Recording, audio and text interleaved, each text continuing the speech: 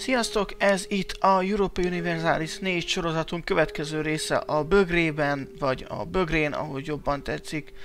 És a címből már láthatjátok, hogy a mai részben megismertetlek titeket a keleti vallásokkal. És ez nem is teljesen igaz, mert a keleti vallások egy részével. Ugye ha vetünk egy pillantást a térképmódra, láthatjátok, hogy igazából a legjelentősebb keleti vallás a konfucianista, vagy konfucianista vallás, ezt mindig rosszul ejtem ki, a, ezek itt, amik nem, tudnak, nem tűnnek annyira jelentősnek, ez a ö, Theravada, illetve a Mahayana és a Vajrayana, ez igazából egy nagy vallás, mindjárt beszélünk róla, és a Shinto, illetve itt van még a Tengri, ezért mondom, hogy részben, mert a Tengriről, illetve az animizmusról, ami például itt van, nem igazán lesz szó, vagy itt is animisták vannak. És rögtön kezdjük is ezzel a fura dologgal, hogy uh, igazából, amit itt láttok, hogy Vajrayana, Theravada és Mahayana, az ugyanúgy egy vallásnak a három része, mint mondjuk az iszlámnál volt a síiták, a szunniták és az ibadik, viszont ők itt ezek kevésbé arcosak, ugyanis a buddhizmus alapvetően ez a vallás. A buddhizmus kezdetben a játékban még az EU4 első pár ö, verziójában simán buddhizmus volt, aztán az egyik kiegészítővel ö, bontották három részre, és kapott háromfajta különböző, illetve, bocsánat, kapott egy játékmechanikát, ez pedig a karma. Ezek ö, egyébként mind a három rendelkezik a karma mechanikával, annyiban különböznek, hogy milyen pluszokat adnak, például mi most itt Lanchanggal a Theravada vallást követjük, és 10%-kal olcsóbbak a tanácsadók, és sokkal toleránsabbak vagyunk, mint úgy általában a többiek. De, hogyha mondjuk ide jövünk és megnézzük, hogy a Vajrayana uh, milyen pluszt ad, az a hadsereg 5%-a jobb morál, és szintén tolerancia, illetve a tolerancia az egy közös nevező. Igen, tehát ezek a buddhista vallások eléggé toleránsak. Náluk pedig a Mahayanál, ami egyébként csak Diviet-ten van jelen a játék elején, ott pedig olcsóbbak a tanácsadók. Csak 5%-kal, még nálunk 10%-kal. Érdekes. Tehát igazából az a leggyengébb ilyen szempontból. De akkor hagyd mutassam meg nektek, hogy mi a lényege a karma mechanikának.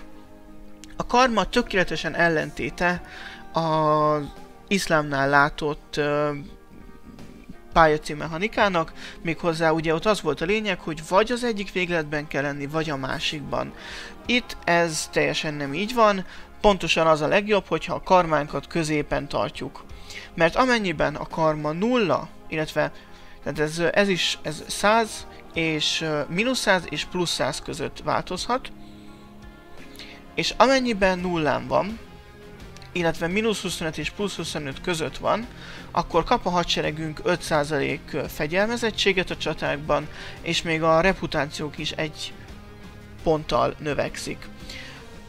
Bármilyen irányba letérni erről nem jó. Először is azért, mert elveszítjük ezt a két bónuszt, másodszor pedig, mert hogyha a karmánk ö, leesik 50 alá, a mínusz 50 alá, akkor nem csak, hogy nem kapjuk meg a plusz egy diplo, de még veszítünk is egyet, tehát nettó két diplórep veszteség az, hogyha mínusz 50 alatt van.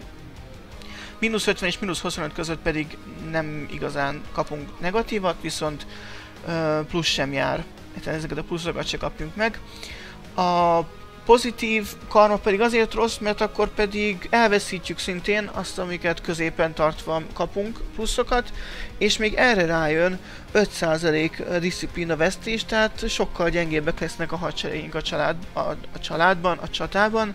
Erről beszéltem, hogy a disziplína az nagyon fontos, főleg a játék második felétől, vagy ö, harmadától kezdve nagyon-nagyon-nagyon lényeges szám, hogy mégis milyen magas a disziplinánk. És uh, hogyan lehet növelni vagy csökkenteni? Hát először is eseményekkel, mint minden más vallás, minden más ilyen uh, csúszkát, ezt is események uh, kicsit változtathatják, hogy valamelyik irányba elmenjen. De uh, kapunk egyszeri csökkenést vagy növekedést abból, hogyha uh, különböző akciókból, például uh, hogyha nekünk hadat üzennek, akkor növekszik a, darmá, a karmánk, hogyha segítünk a szövetségesünket, akkor is növekszik, vagy visszaadunk területeket. Amennyiben viszont mi indítunk háborút, akkor csökken, vagy hogy például uh, magunknak veszünk el a béke során területeket, akkor is csökken a karma. Ez a karma mechanika elég érdekes, mert alapvetően okosabban kell vele játszani, mint a sima terjeszkedős játékmenet, ami a legtöbbször az EU4-ben van, hiszen hogyha folyamatosan csak terjeszkedünk, akkor bizony folyamatosan negatívban lesz a karmánk, és gyakorlatilag elesünk minden plusztól, amit a buddhizmus adhat nekünk. Ez volt tehát a buddhizmus, annak a három ágával együtt, és ugorjunk is át a konfucionizmusra. És hopp, át is ugrottunk Ming bőrébe, azaz a Ming dinasztia által uralt területekre, vagy más néven Kínába. Eredetileg Koreánát akartam megmutatni a konfucionizmusnak a játékmanikáját, viszont mint kiderült, ez nem igazán lehetséges. Vagyis egy részét meg lehet, egy másik részét nem. Egyébként amiről mostantól szó lesz, azok a legújabb DLC, azaz a um, Mandate of Heaven-nek a tartalma. Ez a uh, harmónia mechanika a konfucionizmusnál és a sintónál az elzárkózás mechanikája, vagy izoláció mechanikája. Lássuk, miről is van szó. Ming, mint látjátok, nem egységes. Ugyanis egy része animista, de vannak benne ö, pár tartomány, ami Vajrana ö, vallást követ, és van pár, ami pedig Teravadát. Először is van egy ilyen csúszkánk, mondom, hogy a legtöbb dolog itt csúszkával, csúszkával jelenik meg az EU4-ben, a vallások tekintetében.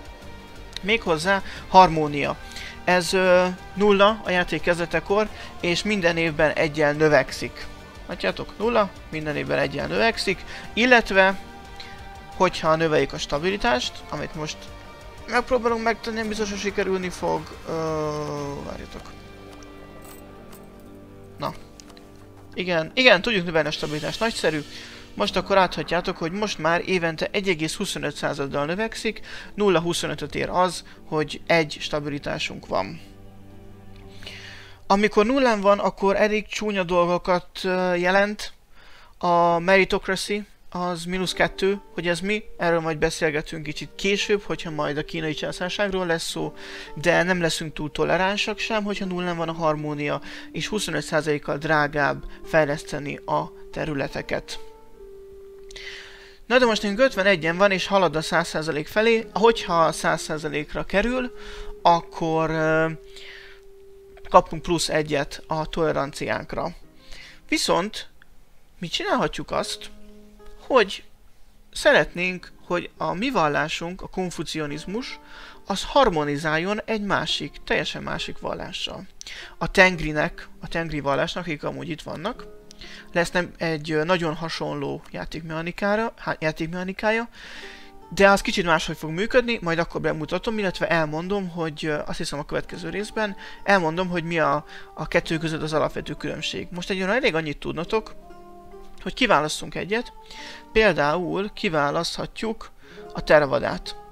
Amennyiben a teravadával harmonizálunk, csak olyan vallást választhatunk ki harmonizálásra, amelyik valamelyik provinciánkban jelen van. Ezért nem volt jó Korea, mert Korea vallásilag egységes. Míg ö, Kínában vannak különböző egyéb vallások is.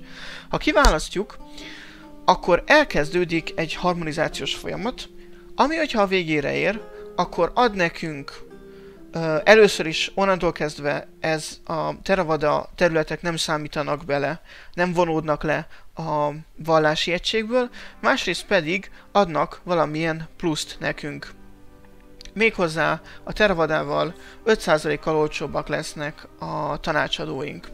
Hogyha a pogányokkal akarunk inkább harmonizálni, akkor pedig a lázadási kedv az egész országban csökken 0.5-tel. És a Vajrajánával is lehetne, de valamiért nem lehet. Igen, azért, mert nem, nem rendelkeznek elég uh, fejlettséggel, tehát nincs 20 developmennyi területük. Hogyha velük harmonizálnánk egyébként, akkor az 5%-kal jobb produkt uh, gyártási ügyességet vagy gyártást jelentene nekünk. De azt tudni kell, hogy ez a harmonizáció ez nem instant történik, hanem úgy, hogy kiválasztom, és szól nekünk a játék, hogy három, évente három harmóniát fogunk veszíteni. és így 1589-re fog véget érni, tehát azért 33 évig fog ezt tartani ez a folyamat.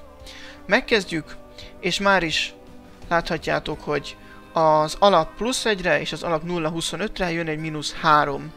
Könnyen belátható, hogy 1.75-tel fog csökkenni évente a harmóniánk 33 évig.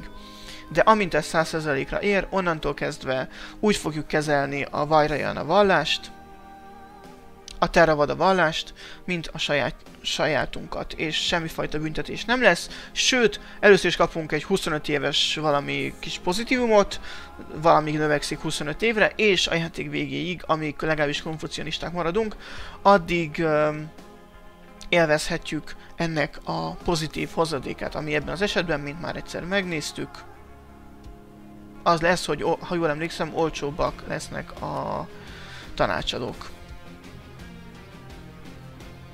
És akkor ugorjunk is át Japánba. Amint tudjátok, hogyha mondjuk tőzsökeres Total War rajongók vagytok, vagy pedig azért, mert okosak vagytok töriből, akkor Japán 1444-ben, de még 1454-ben sem egységes, hanem egy egészen egyedi államformával rendelkezik, ez pedig a shogunátus. Én most uh, idegenesen egy uh, a shogunátus alá tartozó egyik úgynevezett alávaló nem alávaló, alatvaló alatvaló vagy daimyo uh, szerepét vettem föl. Gyakorlatilag akit itt láttuk a szigeteken, az mind a shogunátus alá tartozó daimyo. Hogy ez hogy működik ez a mechanika, mi a lényege, mi a jó benne, mi az érdekes benne, arról majd szó lesz, akkor, hogyha külön foglalkozunk a japán császársággal és a kínai császársággal. De most egyelőre csak kiválasztottam egyet, Uszegit, mert hogy azt tűnt a legnagyobbnak, és amúgy is fehér, és szeretem a fehér szint. A japán vallás a sintoizmus. Minden területen sintoizmus van, itt talán animizmus, de most vegyük úgy, hogy a sintoizmusról beszélünk, hiszen ennek van egy külön is játékmechanikája, ami egészen érdekes. És ez az, ami talán a legrugalmasabb olyan tekintetben, hogy, hogy élővé teszi a játékot, a szerepjátszás segíti elő. Ez pedig az izoliz... izoliz... Ah, tudtam, hogy első nem fogom tudni kimondani. Izolizáció. Izolaz... Izolazá... Szóval, hogy mennyire vagyunk elszigeteltek a többi népségtől. Japán egy uh, időben úgy döntött, hogy az elszigetelődés mellett teszi le a voksát, és ez gyakorlatilag így volt a 19. század végéig ennek megfelelően mi is dönthetünk így, ugyanis különböző incidensek történnek a játékban. Összesen van 8 darab incidens, ami megtörténhet. Ezek szépen időben történnek, attól függően, hogy például ez már, ez a Sushigaku, ez már megtörtént, míg a Namban Trade nem történt meg, hiszen még nincsen kolonializmus, és még nem találkoztunk a nyugattal. Attól függően, hogy milyen választ adunk, Összesen van 5 szintje a, az elszigetelődésnek. A nullától a 4-ig. 0, 1, 2, 3, 4. Ez, 4 szint, ez 5 szint. A nyitott ajtóktól a zárt ajtókig. Most éppen adaptívak vagyunk, ami hatására ez egy egyes szint.